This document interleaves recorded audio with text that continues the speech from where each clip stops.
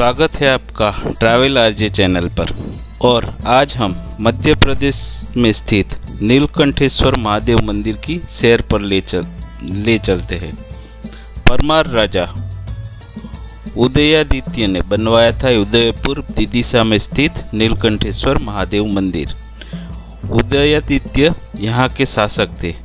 उनकी राजधानी होने के कारण इसका नाम उदयादित्य नगर था। जो बाद में उदयपुर के नाम से प्रसिद्ध हुआ। गंजबा सौदा तहसील मुख्यालय से मात्र 16 किलोमीटर की दूरी पर स्थित उदयपुर का यह विशाल प्राचीन मंदिर पहाड़ियों की तलहटी में स्थित होने के कारण बारिश के दिनों में देखने लायक होता है। आस्था और शिल्प का बेजोड़ नमूना है यह शिवालय। विदिशा विदिशा ज़िले के उदयपुर में स्थित नीलकंठेश्वर महादेव मंदिर में रोज सूर्य किरणाभिषेक होता है। सूरज की पहली किरण मंदिर के गर्भगृह में स्थित शिवलिंग पर पड़ती है। मंदिर का वास्तु कुछ इस तर, इस प्रकार का है कि भोर की पहली किरण वेदशाला मंडप और गर्भ गर्भगृह में छोटे से दरवाजे को चीरती हुई भगवान भोलेनाथ की शिवलिंग पर पड़ती है। जैसे सूर्यदेव उदय के साथ ही भोलेनाथ को प्रणाम कर जग में उजियारा फैलाने की इजाज़त मांगते हो।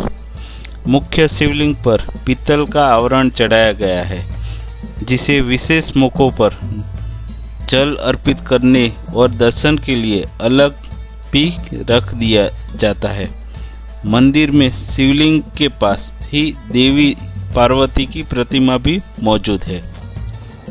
परमार राजा भोज के पुत्र उदित्यादित्य द्वारा दसवीं वार ग्यारहवीं शताब्दी में बनाया गया उदयपुर का नीलकंठेश्वर मंदिर भगवान शिव को समर्पित है। यह मंदिर आस्था और शिल्प का बेजोड़ नमूना है। गगन चुंबी चुंबी शिखर, नायब शिल्प और गर्भगृह में विशाल शिवलिंग के दर्शन करने यहाँ श्रावण सोमवार पर लाखों दर्शनार्थी पहुँचते हैं। गंजबा सौदा के पास स्थित छोटे से गाँव उदयपुर में भगवान शिव का यह विख्यात मंदिर। उदयेश्वर महादेव के नाम से भी जाना जाता है। मंदिर के प्रांगण में एक वेदशाला भी है।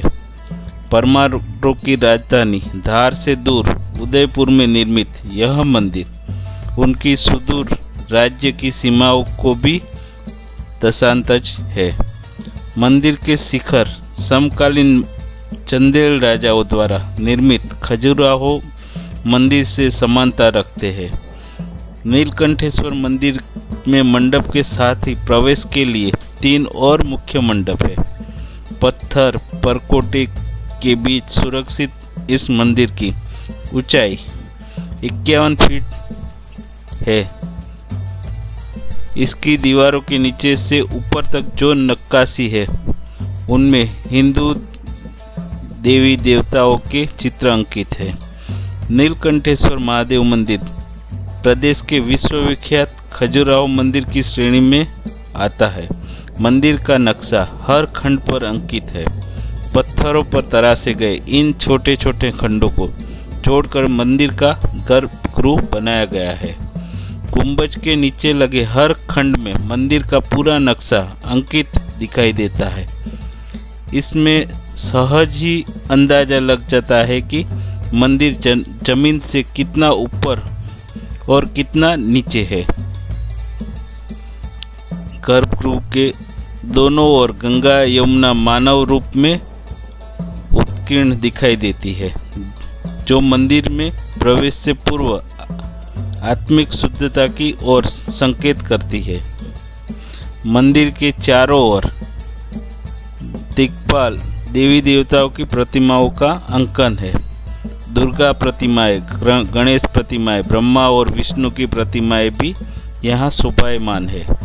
शिव के गणों की प्रतिमाएँ भी प्रवेश द्वार पर मौजूद है। जगह जगह घुंघराले बाल उभरी हुई आँखें और बड़े पेट वाले भारवाही यक्ष अपने कंधों पर सारा भार उठाए स्तंभों पर नज़र आते हैं। मंदिर करीब आठ फीट ऊँचा, विशाल शिवलिंग स्थापित है। शिवलिंग पित्तल के बड़े कवच से ढका रहता है। कवच को वर्ष में एक दिन महाशिवरात्रि पर अभिषेक के लिए हटाया जाता है। इस कवच का निर्माण ग्वालियर रियासत के महाराजा जीवाजीराव सिंधिया ने कराया था। महाशिवरात्रि पर कई गड़े दूध और जल श्रद्धालु चढ़ाते हैं लेकिन यह पानी कहाँ जाता है? यह रहस्य आज तक कोई पता नहीं लगा सका। पानी का निकास पूरा वैज्ञानिक ढंग से बनाया गया है। यह विदिशा सागर, भोपाल से सड़क मार्ग से आराम से पहुँचा पहुँचा जा सकता है।